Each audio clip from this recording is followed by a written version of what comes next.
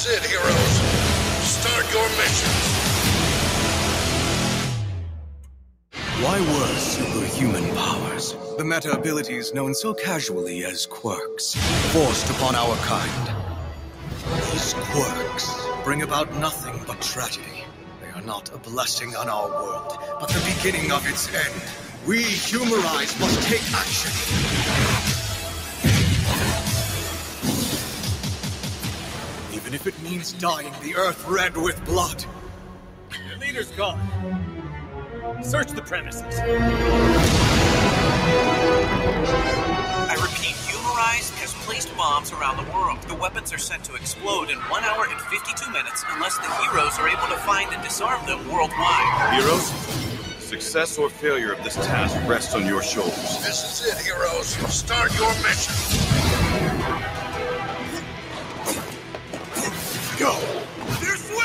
Protect the heroes, our friends, and the world. You humans are being threatened by the sickness of quirks. Gravely afflicted. You are beyond our help. Deku! I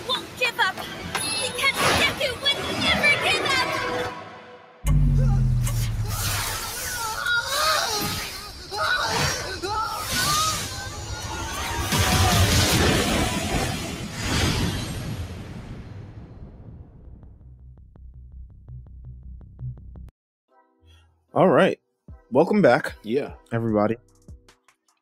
If you have tuned in to our My Hero Academia, I guess it's a bit at this point, we're doing a whole other episode and then some. yeah. My Hero Academia uh, review of season five, and y'all tune in to the movie. We're here talking about My Hero Academia World Heroes Mission, the third movie in the My Hero Academia series.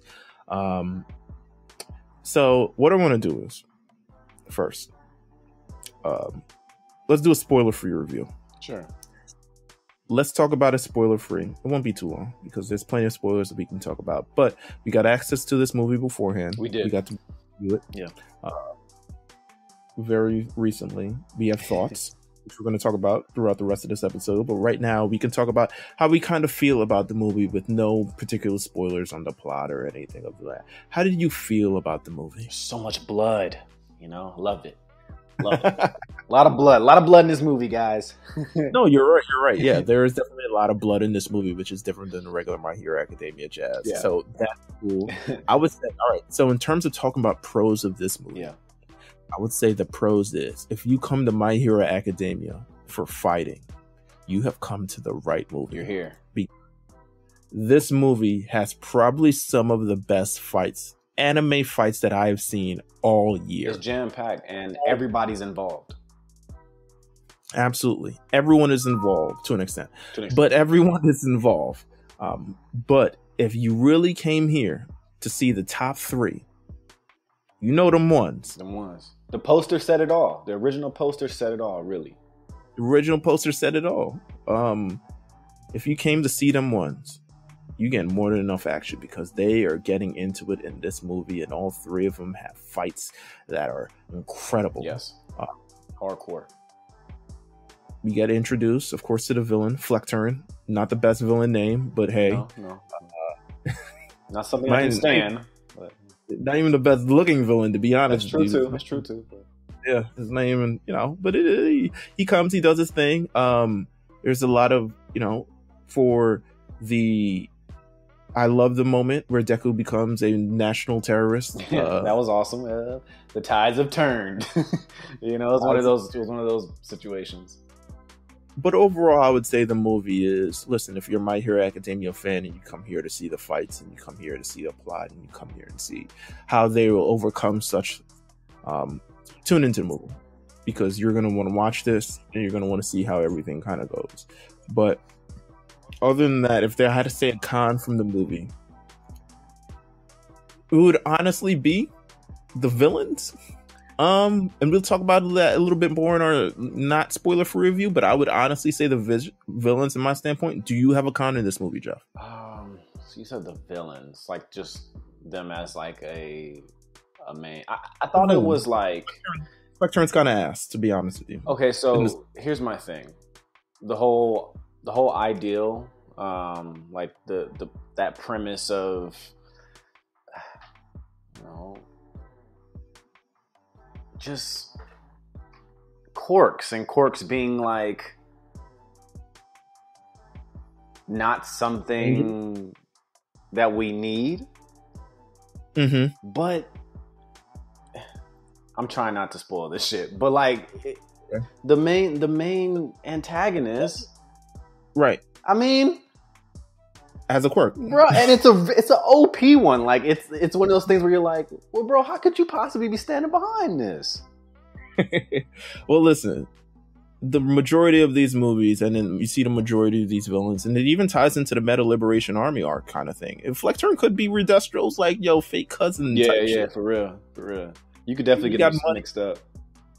You got nose, you got a blue, you got blue, um, you got Yeah, little stuff. blue. So you can see that definitely it's an attack on quirks and quirk society. And of course, the quirk singularity theory, which is ravaged. And, you know, I like that My Hero Academia has this one thing, this quirk singularity theory that is um, splitting the way people view quirks and their ideals about it and stuff like that. Like, people are clearly on one side of stuff. It's like, listen, quirks are going to become too strong Yeah. and overtake society. We need to end this shit now. And there are people who are just like, no, but like quirks are like they're just the norm now. So like, and everyone's different and everyone's unique and everyone has their own little hap happy clap clap So story. even people who don't believe in quirks have people who have quirks in their circle though. right. You got a best friend that has a quirk. me? Have a quirk. You know, Because because you got to be protected somehow. absolutely keep that thing on you. That's right. Um, all times. overall, you know, the movie is an adventure. It is one in uh it's over. It might be over an hour and a half. It's definitely over an hour. It's like and 145, bro. Something like Absolutely. that. Yeah. I like it though. Dude. I, I like the movie. I thought it was cool. It was fun. It's definitely something I want to see in theaters. Um, so make sure you guys go out and see it in theaters when it comes out October 29th. I'll put a lot of my Um, money up on it. Now that we out of the spoiler free zone, we're officially leaving the spoiler free zone. If you got what you needed, if you want to go see this movie, hit up Fandango. I'm sure Funimation.com will also forward you to how you see the movie. I'm sure any other place will forward you how to see the movie. But if you have not seen the movie yet and you want to come back to this when you have, please note that we are leaving the spoiler free territory right It's over. now. So we, we talking about It it is now. chance to turn back. Don't stay around and say, I can't believe they spoiled the movie for me. We are giving you proper warning. This has been 15 seconds of stalling and a warning about telling you about spoilers. We're about to spoil this movie right now. Okay. all right. All right. okay. Let me loosen up a little bit. Um, I'll be honest with you. So We're I'm traveling, gonna, baby. I'm, We're I'm traveling, baby. We traveling. We I, traveling I, in this one. movie for me, I think this highest points, like I talked about earlier, was the action. And I think that when I talk about some of the best fights that you're gonna have throughout this entire year, I think that I think Bakugo's fight is actually probably the best fight of the entire year. Or one of the best Okay. fights of the entire year. Okay, against the little chain. How about to say chain user? Little chain guy. Uh, yeah. I was about to say chain user. Uh, it is by far the best fight in this motherfucker, bro. I thought Yeah. it was the hardest. It's probably the hardest I've seen Bakugo like on some just like, oh, He okay, going. this- he's going like to the point where you know he's outnumbered. I don't know if it was like a clone situation or if there was just two. They don't really. I don't think they really specified. But anyways, he had to go against Mhm. two of these motherfuckers, and they're pretty strong. They were also off that stuff. Okay. Mhm. And Bakugo was literally giving them everything, also using techniques. I love the little grenades and, and against the wall made it explode. I thought that was awesome. And then, you know, his little power up at the I mean, it's just really, really fun, explosive stuff. The shirt torn up and blood all over. You know, he coughing up blood and shit. It was wild, bro. It was wild. I thought it was really impressive. And yeah, it's probably the best fight. Probably the best fight. Absolutely. Um, Todoroki comes in second, and then Deku's comes last for various reasons. But we'll get back to, We'll that, to that, when we yeah. talk about this movie. Let's talk about the beginning of this movie, which I thought was also some sick shit. The movie kicked off with this terrorist attack that Uh, gas shows up through this entire city and starts like people do people start manifesting quirks or do our quirks just start I- going out of control? I Yo, I don't know which one it was. I just know the first guy got turned into a fucking turtle, and I felt really bad for him.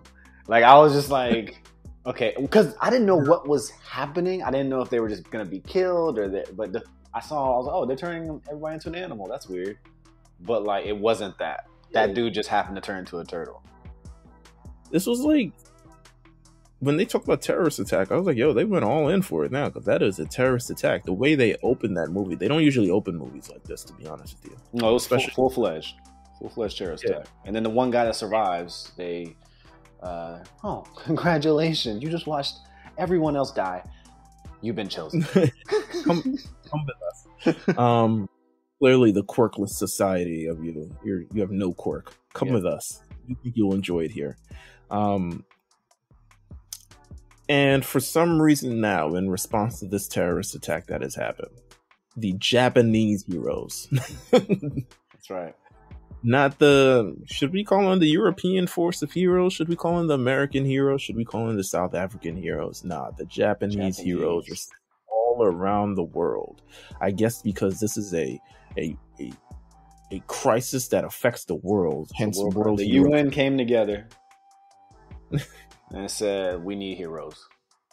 Call them we need up. heroes, especially them Japanese ones. Make sure you get a couple of them.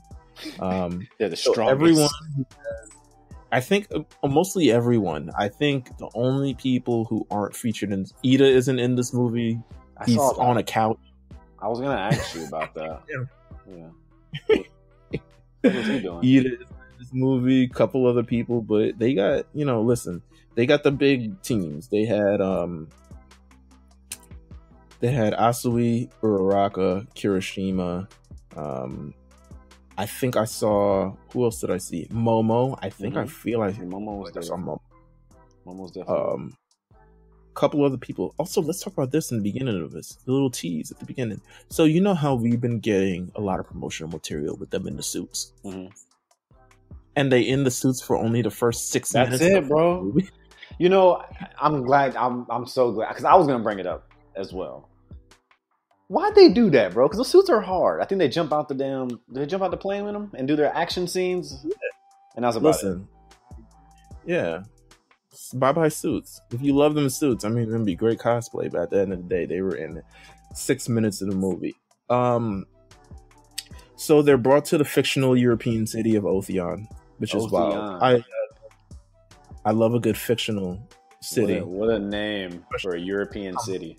A real country. they Yeah. come from a real country, but have to go to you know fictional European city Otheon. Theon. to essentially find out the headquarters of the person who is trying to do all this stuff and they barge in and they don't really see anyone and but they know that there are certain things that they have to look out for Mhm. now in the midst of this deku manages to stumble onto the movie exclusive character Roddy Why you say it like that? because he the movie exclusive character. there is Roddy? all right, so- is it i thought it was Rhodey, right Rhodey. Rhodey. it's Rhodey. Rhodey. What was his last name? I don't remember. Rhodey, all right, my hero. It was something unique.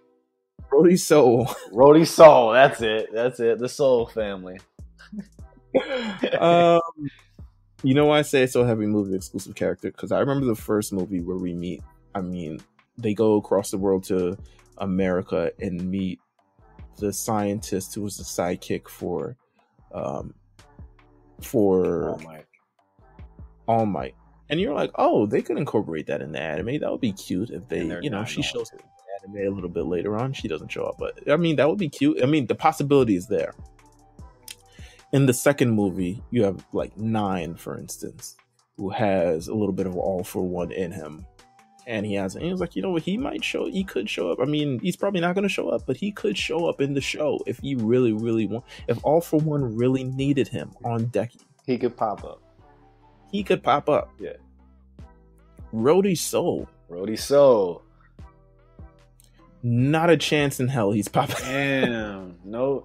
You know what's crazy? I mean, I just love that his court. Usually, they'd invite him back to school, man. Hey, come come to school with us. Lead this country, bro. Pull up. Not even Ophion. And they were like, mm, you know what? You keep that shit over here. We they need you. He's 16 years old. He is. He was born February 13th. So he's an Aquarius. We love that. We love we love that. We love that over here. He's part of the Soul family. He has a little brother and a little sister, and he commits crimes because he has to. You're from the bottom right now. Yeah, yeah, you gotta get it done. So he's sent to give this briefcase to somebody, and Deku's essentially like, "Yo, why are you running?" They're like, "Yo, stop this guy!" And Deku's like, "Oh, a villain or something along those lines. I must chase them." So he chases them down. I think they stop the other two villains. That Todoroki and Bakugo stop the other two villains, but he's after Rhodey's soul, and Rhodey's soul doing all types of flips and dances and tricks and you know, falling from the sky and doing all this other stuff like that. And they stop him. Police run up on them. Um, but now, police, Deku's like, "Yo, why y'all?" Deku approaches the cops. The cops is like, "Yo, stop!" And they got their, you know, guns out and all this other Right. stuff. And yo, why y'all trying to shoot him? Like he's just relax. You know why? wrong. He, he hasn't really done anything wrong. And they're like, "Yo, you put your hand down too." And then he's like, "Oh, nah." I got black cork. I don't need this, man. Don't worry about this shit, man. Why y'all doing this? So he escapes, and that is how Deku becomes the national terrorist of this entire movie. They they Because said they said my man had was up for mass murder, bruh. The police are corrupted in this movie because Fleck, Fleck turns people has also invaded the police department of this fictional city. Um, My hero telling So- it all. listen, Deku and Rhodey now have to escape to an, the nearby country so they aren't killed or caught by the police. But they also have something, you know, a briefcase, which is lit, you know, supposed to have, oh, but this going to have diamonds, quirk bullets, types of stuff. Nah, just a bunch of papers and stuff like that. yeah, yeah. I don't know what this shit is. but they eventually find out. I mean, the you know, I so from here the plot is very uh I'm like, "Oh, okay. All right." When does it turn up? Like that's what I was kept saying. I was like, "Okay, when does it turn up? Like where where do we Yeah, what are you, what are we getting to? Like, what does it all mean right now? But nah, they just on the run. So they're on the run the entire OTR on the run for pretty much a majority of this movie. Um, at least the first half, the first two acts of this movie, they're you know trying to escape. They go to nearby towns. There's little disguises. Sleeping in There's a caves. musical number, musical number. Yeah, just a little one. I Just respect it. I was like, okay, it's a movie. you Got to give us one at least. um, we learn eventually. I mean, here's the thing. It would have I. So they see the report that Deku's like this national terrorist. The thing is, like, no one truly believes it. Like, no one who actually is close to him, and on, and the only re only people who are close to Deku in this particular city are Endeavor, Bakugo, and Todoroki, because all the other heroes were sent to various other countries to do various other things. Right. So it's world hero missions. It's all over the world, but it's really focused on this place because Deku's there. So eventually, Bakugo and Todoroki find Deku. Um, and they're like, "Yo, what have you been doing, man? You've been running. You've been on the loose and all the jib- jibber jabber and stuff like that." And they knock something in this damn briefcase, and they find like the jump drive or something. Yeah, that was a really dope scene, by the way. Like the, the fight scene leading to that moment. Um, it was really, really good. Again, the fight scenes in this movie, top notch. Yeah, they go they go a lot of destruction too. You get a lot of a lot of dust. Mm-hmm. You know, a lot of a lot of cliffs being broken. It's a it's a really good action. You clearly see where the animation budget for season five went. Yeah, And there you go. You called it. I ain't really noticed until you said that, but yeah, you're spot on with that shit. It was like, man, look, But that's still, money but tied up. still, great fights, great action. Um, they learn the history of what they learn what's on this thing, and essentially it's the flash drive to stop all these bombs from going off in various cities because that's what Flect Turn has. Flect Turn's like, listen, y'all got. I don't even know what the time was. Y'all got a couple hours before I let go all these bombs in the city and everyone quirks start going bananas. You know? Is that what you want? Is that what and the only place yeah, yeah yeah the only place to stop it is to obviously go to the headquarters to stop it which is in some you know you know villain headquarters some cliff or some What- underground What, what did Bakugo say? He was like, uh, "It's the only place they're not they're not launching an attack from." it's like, okay, good job, bro. I'm glad you got that. logic man Logic. so all three of them not endeavor by the way endeavor does not go with them this is another case of the movies where See, the- this is what I be talking about, bro. i'm staying Oh. out with it You guys really are heroes. It's like, yeah, bro. Yeah. so endeavor in them they gotta like they gotta figure out what they're doing in their own part. It's like endeavor is like yo i'll i'll fall back. You guys go find deku or something along those lines. But then the kids are like actually we're gonna go infiltrate this thing ourselves and we don't need endeavor or any of the adults or anything or rather. Um and they go in and they got to fight all the villains that are leading up outside and these people have quirks or maybe they don't have quirks some of them do some of them don't um It is what it is. Good luck. they're fighting their way through in. So Bakugo takes the people on the outside, and then I think Todoroki takes one layer inside, and then of course Deku reaches the big bad Mhm. Flect Turn. Flect Turn. Bunch His quirk is Fucking mirrors all over the place. He reflects everything. I mean, that he reflects everything, guys. everything. He flex everything. Yeah, that's it. That's it. He flexes everything. He re everything. Every attack that you have gets launched back at you. Which I was like, oh, that's not okay. Well, I guess we haven't had that. Yeah, It's a I guess. walking trap card. There you go. You know, There you go. mirror force. Uh, and then Rhodey, who was captured by the villains at some point because he is his dad's son, and we learn about the dad's history that the dad was some scientist who's pressured to make all these evil things to kill him, and then they kill his dad for essentially insubordination of trying to stop them while also working for them, or something of the rather. Um, and we learned that his dad dies, or at least he learned that his dad dies. did you ever think? Movie Did you ever think the boss was the dad at any point? Or no, you were like, nah. could have been, could have been, but you know what? I think they're done with the double switch thing after that first movie. Yeah, that's real. the first movie where the where the the the hero was the villain and then he got shot by the actual villain. um so I I think they're done with that. Uh but Rhodey manages to infiltrate and we learn about what Rhodey's quirk is. And Rhodey's quirk is Um, that little bird. the little bird. little bird shows his true emotions. That's why he can technically never really lie. And he is True intentions. you know, he was a little bit embarrassed by the quirk. sure. Who wouldn't be? Quirk the little animal's named Pino. Which is hilarious. Pino sounds just like Togepi, and it really pissed me off. That was probably the worst part about the movie. I'm here to say that. I mean, it sounds literally just like Togepi. Pino has a Pino is actually I think it does stand for something. Um let me see.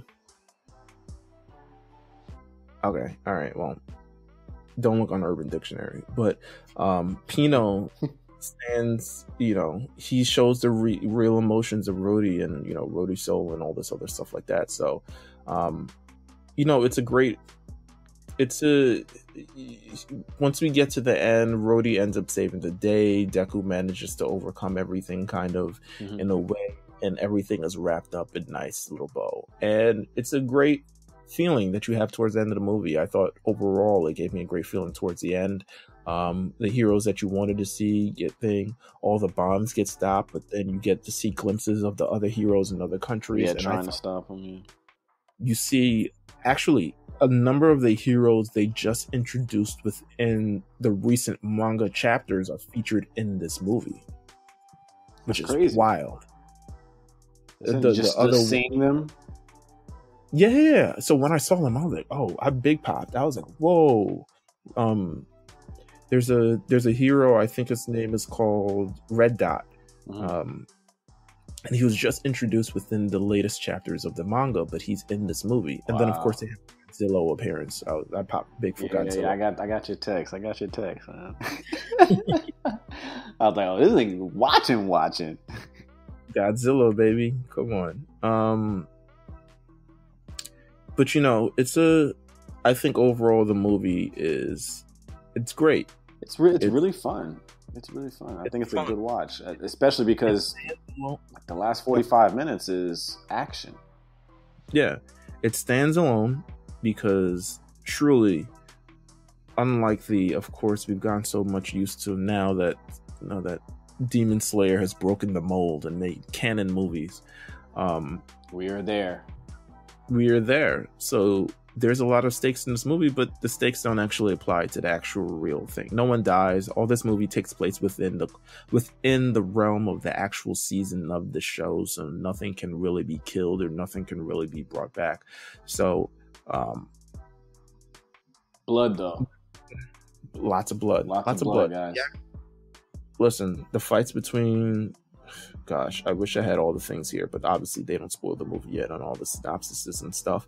However, um, the fights are really good. Todoroki's fight is really good. Deku's fight is really good, and Baku's fight, Bakugo's fight They is the have best. like really great individual things, that, and they're all different from each other. None of them in the same way, which is nice. It's not corny, you know. Right. Uh, it's it's all And this- like them reaching a new limit to their powers too, which is really dope.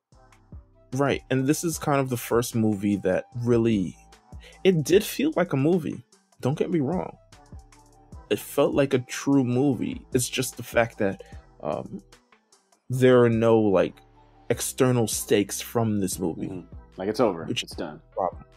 Yeah, it's it's just over. It's done. Uh, none of these villains are going to be brought back. None of these things are going to be brought back. But overall, I think it was an enjoyable experience. And if you go see this in theaters, I think it was designed for theaters just based on the choreography of the fights, the amount of effort they put into these fights, Yes. the animation budget that went into this, um, the choreography of the fights, very fluid.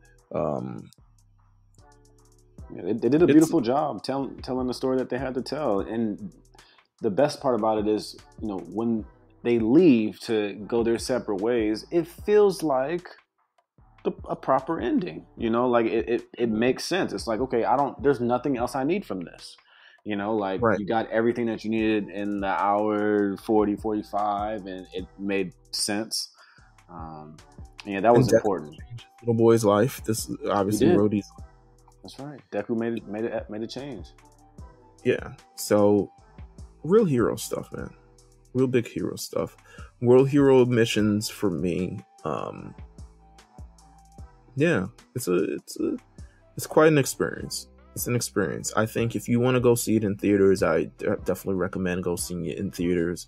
Um but i think everyone especially if you're looking for action within the my hero academia thing which um, I think we got a lot of in season five, but you maybe if you didn't get enough of, uh, I mean, the, the top three, you definitely want to see this movie. Right. because I've, I've been touting it, but the action of this movie is probably, I mean, they do well with all movies, but I think we haven't really seen Bakugo, Todoroki, and Deku Being really highlighted the spotlight. Yeah, yeah. yeah, yeah, yeah. There's there's no one to save them. There's no one to. There's nothing. It's all on them, which is amazing. It's a great development. It is. Uh, any final words about the movie, sir? Um, I mean, I, I think they, I think they wrap it up very well. Um, you know, I think it's interesting. I think you can watch this even if you're not into My Hero or never seen it. Actually, I think you could turn this on and be like, "That was fun." I I, think that was kind of like the the big thing I got from it was it, like you said, it felt like a movie, and to me, what that translates to is anybody could watch it. Um, and Mhm. I, I kind of feel like that's the difference between this and the Demon Slayer movie. Even I, I feel like the Demon Slayer movie is just going to work more episodic, um, and we discussed that too when we spoke about it. And I, I, I think you can't just throw anybody on that. They would kind of be like, you know, like it's a lot to invest in. This is it's fun. You know what? It's clean. I have people though with the Demon Slayer movie. They started with the movie, and then I was like, oh, I should get into the series. Really? Damn, I, dude. I hey, I could I couldn't imagine. I couldn't imagine. That shit's heavy, bruh. Yeah, this shit's heavy. Things happened in the movie. That's why I wouldn't recommend it doing it the other way. I would recommend Yeah. it watching the movie. The Yeah. things happen in that has a large impact on the movie that you probably It's just so through the show. heavy. Yeah, you could turn this shit on and be like, oh, this is an anime movie. You know, I don't know what the series is, but it works. Absolutely. Um, again, uh, this is my hero. I think you said it great. Where this this movie feels like a movie, and then also feels like if you're not even a fan of the My Hero Academia se- series, or you haven't watched it yet, you could plop yourself into this movie and kind of understand everything that's going on. The character they play out who's important. They give you a lot of different options for a lot of different heroes that you see throughout this entire movie. Mhm. You still get the Ochako and Asui. You still get the Kirishima. You still get Hawks within this movie. Um, albeit they're not featured as heavy as Deku in this movie. Deku is probably in most of the scenes in this movie compared to everybody else. It is a good movie. It is a good movie. I'll you know I'll leave it at, like that. Um, thank you guys for tuning in. Thank you guys for Funimation for allowing us to sort of uh, yes, yes, access Very grateful. this early bird review. Mhm. Um, if you see the movie, feel free to hit us up at the Lookout RNC on Twitter and let us know what you think, or hit myself up at you know Meelz TV and Jeff at Old Newsboy and let us know what you thought about the movie. Um, it comes out, of course, this Friday, October 29th, um, in theaters everywhere. Let's continue to support anime movies please, so they can please. get made and we can continue to get them in America and we don't have to wait 17 months for the dub That's right. um, or at least any type of sh- show, not even just the dub, any type of showing in America. We don't have to wait 17 months. Let's continue to make anime movies, you know, popular. There's another one coming out. I think the One Piece movie is coming out soon. yes. Make yes. sure you support that as well. Um, and and you know, we got a we got a lot of stuff on the horizon. So make sure you continue to support anime stuff, um, especially in America and these movies and stuff, so we can continue getting them. Um, very important. and yeah, that's all I got to say. Follow the Lookout RNC. Um, don't meet us there, beat us there. Yeah. We'll be back next time. Take care.